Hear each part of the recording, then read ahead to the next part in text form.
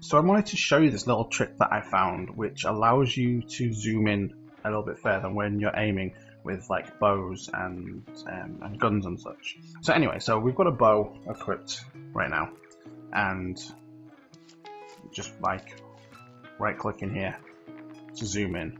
Yeah, gives you a little bit of zoom.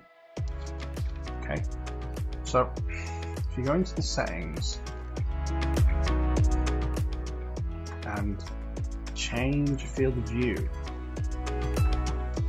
you get so much more zoom.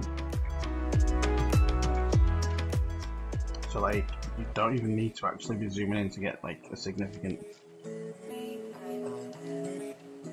You see? Let's just go back.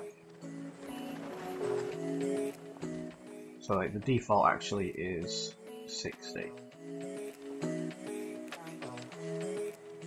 You can see how the reticle there takes up sort of the so 50% of the the target that we're looking at there, and then compare it to the field of view 40.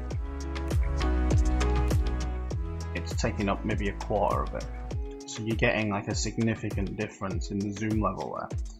So I just thought I'd share that with you because that this is going to be, I think, pretty handy for people who are primarily using your bows and your muskets.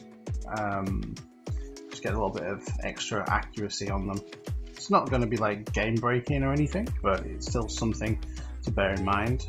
Um, I mean, I prefer like a wider field of view, and I don't typically use these things, but you know, it is what it is.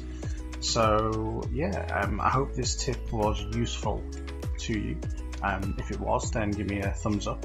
Um, maybe leave me a comment on your thoughts on this. You think it needs to be like nerfed so that it's sort of fair across the board, regardless of your field of view? Um, don't forget to hit that subscribe button as well because subscribing means you'll get the videos that I produce pushed to your feed, and it means that you won't miss out on any sort of news, tips, tricks, strategies, any sort of useful game info uh, for New World. So hopefully I will see you guys in the next one.